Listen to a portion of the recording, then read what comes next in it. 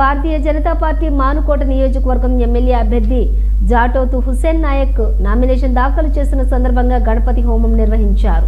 అనంతరం వారి స్వగ్రామం దేవత వద్ద ప్రత్యేక పూజలు నిర్వహించి ఆశీర్వాదం తీసుకుని మహబూబాబాద్లోని ఫాతిమా స్కూల్ నుండి భారీ ర్యాలీగా బయలుదేరి స్థానిక వివేకానంద సెంటర్ వరకు ర్యాలీ ముగించారు.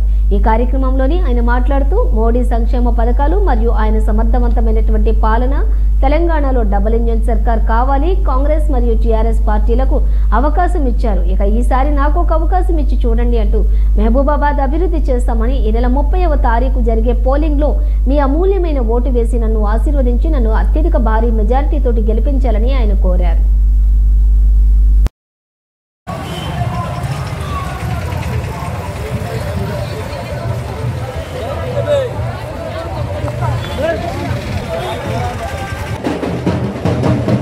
ఐదు మండలాల యువకులకు ధన్యవాదాలు ఈరోజు మనం నామినేషన్ లాస్ట్ అలాగే ఇదే రోజు నామినేషన్ వస్తున్నాం ఈ నామినేషన్కి వచ్చిన మా యువతలకు యువతలకు మా అన్న తమ్ముళ్ళందరికీ అలాగే మిగతా పార్టీ మిత్రులకు కూడా ఎందుకంటే ఈసారి వాళ్ళకు ఓటే కాబట్టి మాకే ఇస్తారు కాబట్టి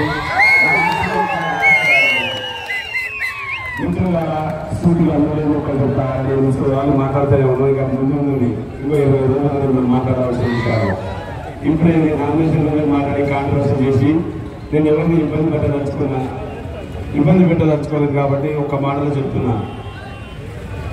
తెలంగాణ వస్తుంది.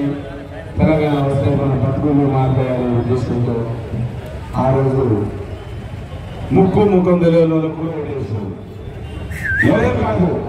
ఏడు కూడా బయట కూడా మంది